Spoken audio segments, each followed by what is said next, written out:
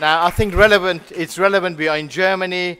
Germany has a code that protects religious institutions from criticism and shields it. And Maryam and Sami are coming on the stage. Please, please do come on the stage to discuss this code and, um, and propose a resolution for the conference. Thank you.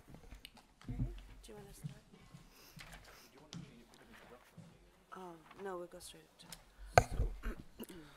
So Celebrating Dissent is deeply concerned with Code 166 in Germany's criminal code, which, which shields religions and religious and ideological organizations from criticism or defamation if deemed to disturb the public peace.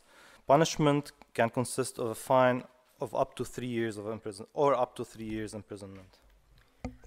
Since any criticism of the sacred and taboo can be met with a disturbance of the public peace by fundamentalist violence and threats against critics, the code gives succor. Sorry, I wrote that word, but I don't know how to say it. Succor?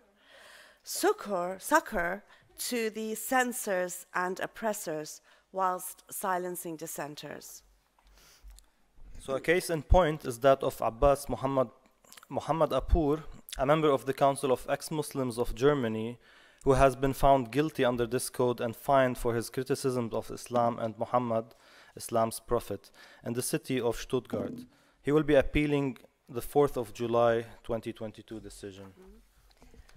We uh, call on the German government to scrap Code 166 of the Criminal Code, drop all sentences and charges pertaining to this code, and to respect the right to apostasy, heresy, and blasphemy, which are integral to freedom of conscience and expression and are protected under international human rights law.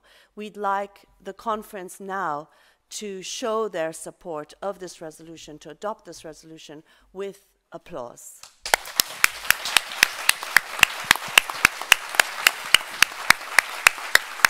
Thank you.